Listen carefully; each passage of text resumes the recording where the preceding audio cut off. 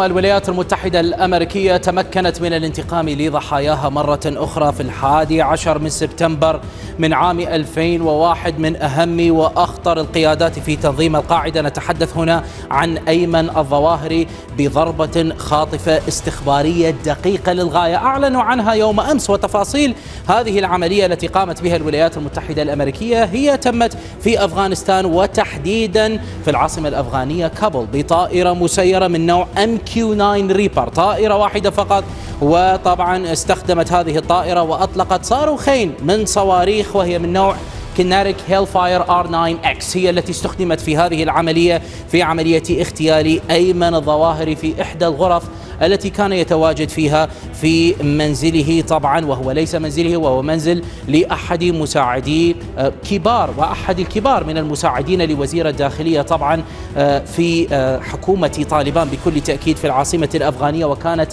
العملية ناجحة للغاية ودقيقة للغاية وهذا هو المنزل الذي ترونه الذي تمت فيه عملية اغتيال أيمن الظواهري هو كان موجودا في هذه الغرفة التي ترونها هذه نقطة الاستهداف هذه كذلك وهذا شباك آخر مطل على الغرفة كما تلاحظون الضربة هي جاءت بهذا الشكل بهذين الصاروخين. ليس هنالك دمارا في هذا المبنى بكل تأكيد لأن الضربة كانت دقيقة ومدروسة وأخذت شهورا من المخابرات الأمريكية ال CIA لكي تصل إلى هذه النقطة وأن تقوم بعملية الاغتيال بهذا الشكل الذي ترونه. والصواريخ طبعا التي استخدمت هي هذه الصواريخ التي ترونها طبعا من ال Hellfire R 9 X. لم يستخدم أي رأس تفجيري أو يحقق الانفجار بكل تأكيد واضح من طبيعة المبنى ولكن ما استخدم وتم التركيز عليه هي ال blades أو الشفرات التي تفتح بهذا الشكل كما تلاحظون.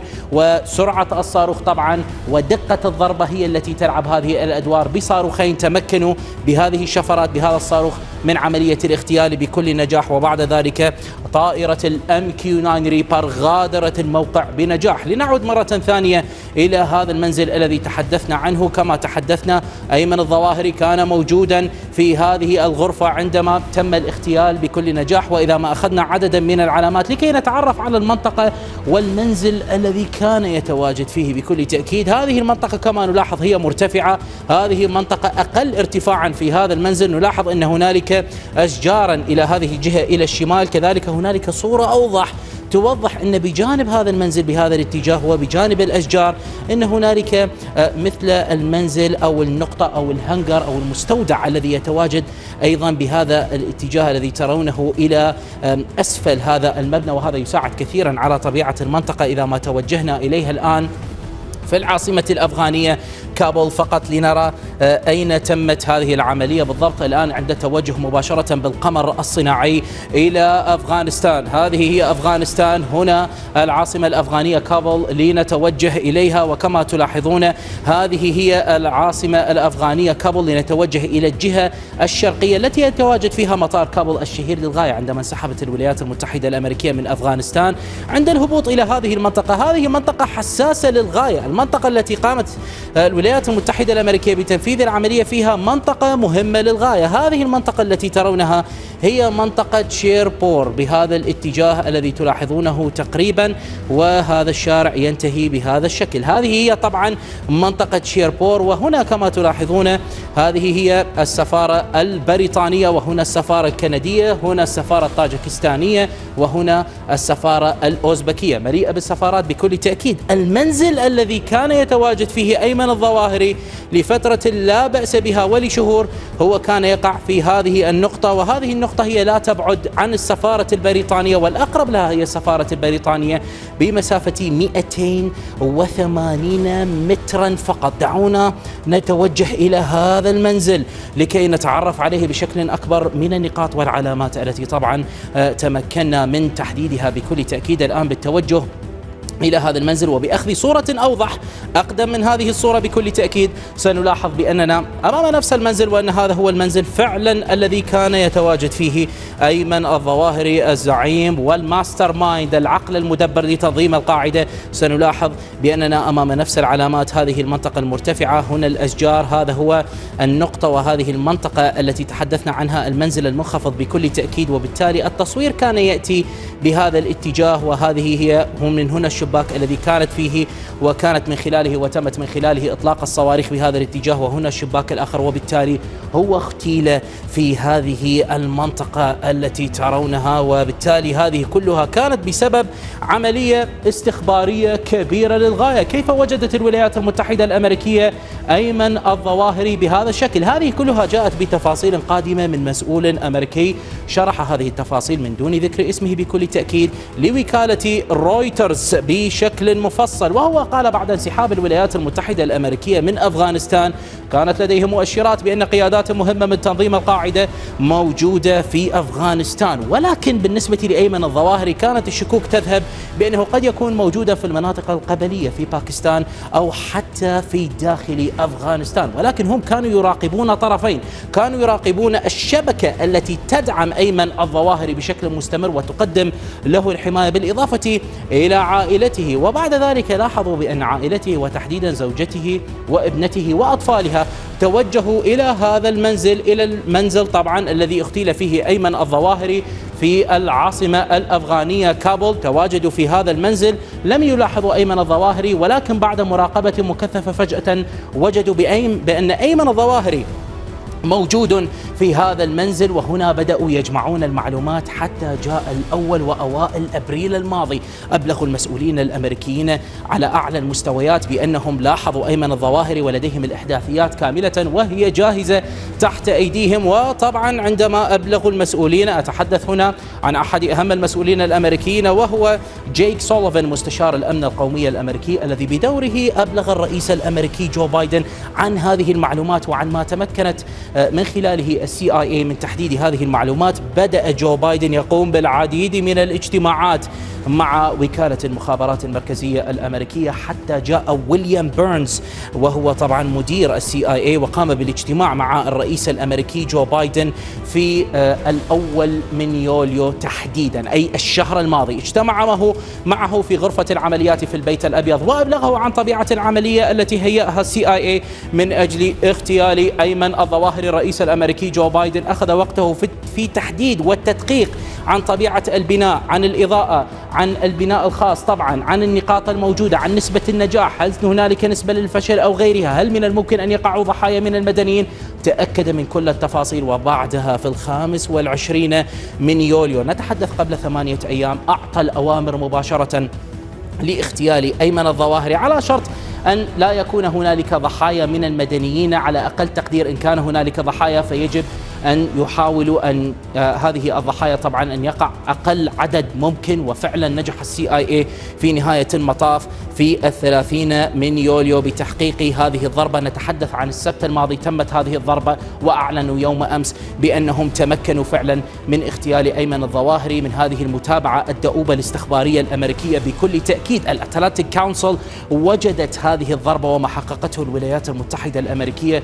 هو نجاح كبير للولايات المتحدة. الأمريكية وهو يفتح فرصة لها لتفكيك تنظيم القاعدة بشكل أكبر وهذا ما ذكرته الأتلانتيك كونسل حول هذا الموضوع وقالت والآن بعد وفاته يجب أن نتوقع أن تمر القاعدة بفترة اضطرابات داخلية تخدم الهدف الاستراتيجي للولايات المتحدة المتمثل في تفكيك التنظيم خاصة بالنسبة لمنطقتنا. عندما نتحدث عن الشرق الأوسط عن العراق عن سوريا الولايات المتحدة الأمريكية التحالف الدولي العراق طبعا بكل تأكيد عملوا بشكل مكثف للغاية بالنسبة للولايات المتحدة الأمريكية على التنظيمات الإرهابية الموجودة تحديدا في سوريا إن كانت القاعدة أو إن كان تنظيم داعش قاموا بنجاح بعملية اغتيالات مستمرة لقيادات هذه التنظيمات في سوريا في الفترة الأخيرة في استراتيجية. أطلق عليها البعض بأنها استراتيجية الخلاص من رؤوس الفوضى من أجل التركيز على أمور أكثر. كذلك العراق نجح في تحقيق الكثير من الضربات ضد هذه التنظيمات ووصلت هذه التنظيمات بحسب آخر التقارير الغربية وبحسب حتى الوقائع.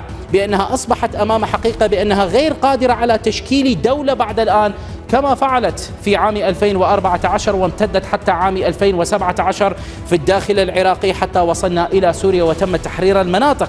وبالتالي هم بقوا كعصابات وبدأوا يفكرون ويعملون على تأسيس دولة لهم في أفريقيا تحديدا. واجهوا بعض المشاكل في الفلبين ولكنهم يركزون على أفريقيا بشكل هائل للغاية، توقيت هذه الضربة بالنسبة للرئيس الأمريكي جو بايدن وتوقيت عملية اغتيال أيمن الظواهري تأتي بوقت مهم للغاية خاصة وأن هنالك انتخابات قادمة في نوفمبر القادم في الكونغرس الأمريكي على مستوى مجلسي النواب والشيوخ، الرئيس الأمريكي جو بايدن مباشرة كما نلاحظ في آخر الإحصائيات القادمة من ال 538 مصادقة الشعب الأمريكي على الرجل كانت منخفضة جدا ولكن الآن بعد هذه الأنباء بدأ يرتفع شيئا فشيئا. كما نلاحظ هنالك رضا من عوائل العوائل الأمريكية والأسر الأمريكية خاصة من الأسر التي لديهم ضحايا مما حدث في الحادي عشر من سبتمبر بكل تأكيد قبل 21 عاما وبعد 11 عاما من عملية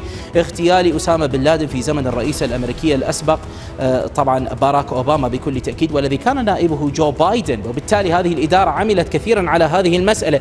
بدأ يرتفع وترتفع المصادقة كما نلاحظ في مؤشر جيد بالنسبة إليه وكذلك بالنسبة للحزب الديمقراطي كما نلاحظ هنا على مستوى آه، آه، مجلس الشيوخ الأمريكي. فجأة ارتفع الحزب الديمقراطي بالنسبة لل 538 وما وثقته من استطلاعات الرأي بنسبة 56% كحظوظ من أجل الفوز في الأغلبية في مجلس الشيوخ الأمريكي والحفاظ على هذه الأغلبية. كانت الإحصائية سابقا بالنسبة للحزب الجمهوري كان متفوق بنسبة 51% وكانت هنا 49% الأمور تغيرت. هنالك أسباب داخلية بكل تأكيد أيضا لعبت دورا ولكن التوقيتات مهمة عندما يتم الإعلان عن هذه المسائل. وهنا كما نلاحظ كانت الأمور في مجلس الشيوخ الأمريكي آه، بالنسبة للحزب الجمهوري متفوق ولكن شيئا فشيئا وبعد شهر كما نلاحظ أصبح الارتفاع واضحا جدا بالنسبة للحزب الديمقراطي على الحزب الجمهوري حتى على مستوى مجلس النواب الأمريكي. كما نلاحظ هنا بالنسبة للحزب الجمهوري هو مسيطر لا زال بنسبة 83% بحسب ال 538 بالفوز في نوفمبر في الأغلبية في مجلس النواب ولكن هم انخفضوا من نسبة 87% ودي الديمقراطيين شيئا فشيئا بدأوا يضغطون على الجمهوريين في هذه آه، طبعا الإحصائيات. وواضح جدا كيف أن الجمهوريين بدأوا ينخفضوا. والديمقراطيين بدأوا يرتفعوا بكل تأكيد حتى الناخب الأمريكي أيضا بحسب ال 538 مرة أخرى لاحظ وبدأ يصوت وبدأ يرغب بأن يبقى الديمقراطيين في الكونغرس الأمريكي بكل تأكيد. وكما نلاحظ الفارق كان كبيرا كانوا الجمهوريين هم الأعلى من الديمقراطيين. الآن هنالك تقارب نسبة التقدم بالنسبة للجمهوريين تأتي بنسبة 0.3% وبالتالي الأمور فعلا دخلت في متغيرات سريعة مع هذه الأنباء التي نتحدث عنها بالنسبة للرئيس الأمريكي جو بايدن. ولكن بقيت نقطة مهمة جدا إن نجحوا بها الديمقراطيين والرئيس الأمريكي جو بايدن في الأشهر القادمة. قد تكون هذه الأرقام تتغير تماما ويرتفع الديمقراطيين وحظوظهم. ليس فقط على مستوى الكونغرس الأمريكي وإنما حتى على مستوى انتخابات رئاسة رئاسة الولايات المتحدة الأمريكية في عام 2024 وهي مسألة متعلقة في الاقتصاد. بكل تأكيد التضخم في الولايات المتحدة الأمريكية وصل إلى نسبة 9.1% الآن المسألة وما أمام الرئيس الأمريكي جو بايدن أن يحاول أن يتعافى من هذا التضخم. هو والحزب الديمقراطي وقد تكون واحدة من الأمور الخارجية التي هي في يد الولايات المتحدة الأمريكية هي مسألة العودة للاتفاق النووي. هنالك فرصة الآن لعودة المفاوضات مرة ثانية. إن تمكن من العودة للاتفاق النووي مع رفع العقوبات ومنع إيران من الوصول إلى القنبلة النووية وإيقاف أجهزة الطرد المركزية آه، المتقدمة مثل ال IR 6 التي تستمر إيران في إضافتها. أضافت هي يوم أمس بحسب تصريحات من المنظمة أو منظمة الطاقة الذرية الإيرانية 500 جهاز من أجهزة ال IR 6 وسيقومون بتشغيلها بعد 10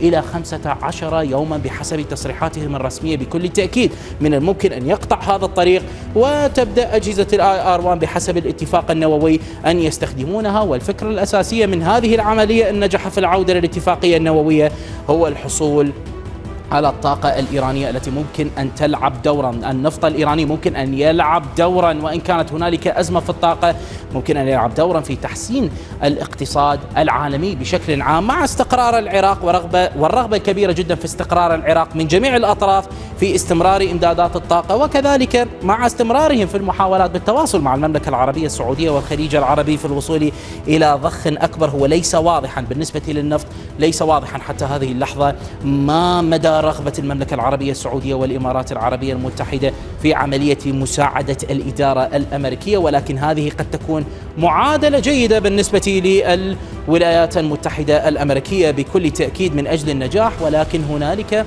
مسألة خطيرة جدا. الآن تجري وعليها أخبار عاجلة خطيرة مرتبطة بنانسي بيلوسي رئيسة مجلس النواب الأمريكي. هي وصلت بشكل مفاجئ. كانت هنالك إشاعات. ستصل لن تصل إلى تايوان. الآن هي وصلت إلى تايوان قبل أن نبدأ حلقتنا لهذا اليوم وهي هبطت بهذا الشكل.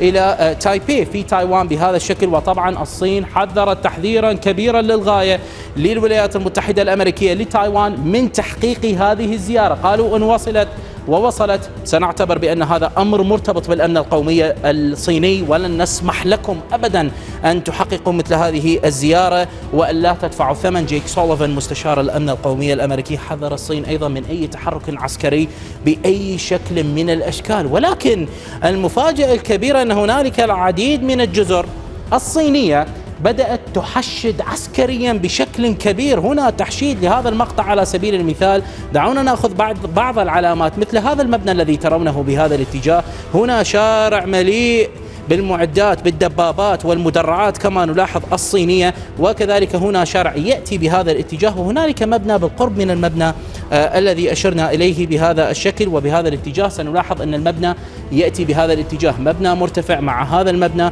مع هذه التحشيدات مع منطقة ترابية بالقرب من هذا الشارع الذي ترونه بكل تأكيد. سنلقي نظرة على المنطقة بكل تأكيد ونتعرف عليها. منطقة ترابية وكذلك لاحظ التحشيدات الكبيرة تذكرنا تماما بالتحشيدات الروسية قبل بدئها بالعملية العسكرية في أوكرانيا وبالتالي هذه التحشيدات تأتي في لحظات آه، مربكة جدا للعالم. هل الصين ستفعلها وتتوجه مباشرة إلى تايوان بعدما يجري بكل تأكيد؟ والصينيين طبعا يبدو من خلال الأخبار العاجلة بأنهم قاموا بعملية اختراق كبيرة للأجواء التايوانية ب 21 طائرة بالنسبة للأجواء الدفاعية من ضمن المناطق الدفاعية آه، لتايوان. بكل تأكيد الآن مع أخذ هذه العلامات التي ركزنا عليها في الجزيرة الصينية. الآن نتوجه هنا تايوان كما ترون بكل تأكيد لنتوجه إلى هذه الجزيرة وهي جزيرة شيامن بهذا الاتجاه. وبالتالي هذه الجزيرة التي تلاحظونها إذا ما توجهنا إلى المنطقة الغربية الخاصة بها هنا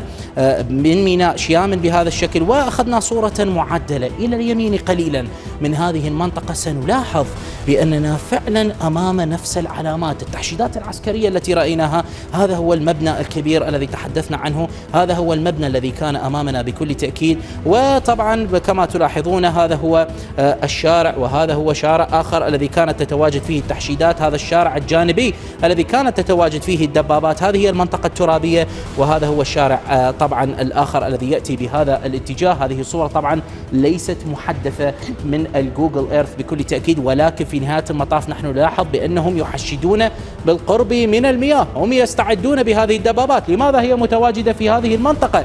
وهذا يفسر بأننا قد نكون أمام شيء كبير هنا خاصة إذا ما ابتعدنا فقط لنفهم ما هذه الجزيرة ومدى المسافة بينها وبين تايوان بكل تأكيد بالارتفاع من هذه المنطقة. سنلاحظ بأن هذه هي تايوان وهذه هي الصين التي ترونها بهذا الاتجاه وبالتالي هذه الجزيرة وهي جزيرة شيامن التي تأتي بهذا الاتجاه. المنطقة التي يأتي فيها التحشيد يأتي بهذه المنطقة والمسافة تقريبا عبر المياه ما يقارب ال 220 كيلو مترا فقط من أجل الدخول عبر المياه بهذا الاتجاه وبعض التقديرات تأتي وتذهب بأن هذه الدبابات إن أرادت الوصول عبر طبعا الأسطول الصيني قد تحتاج إلى 30 دقيقة أو أقل لكي تقتحم. تحشيدات كبيرة في عدد من الجزر وهذه واحدة من الجزر التي جاءت بهذا الاتجاه وبالتالي نحن أمام متغيرات كبيرة للغاية. ممكن لو اقتحمت الصين تايوان ممكن أن تتغير الأرقام بالنسبة للحزب الديمقراطي بكل تأكيد أو حتى بالنسبة للرئيس الأمريكي جو بايدن سنرى ما الذي سيحدث.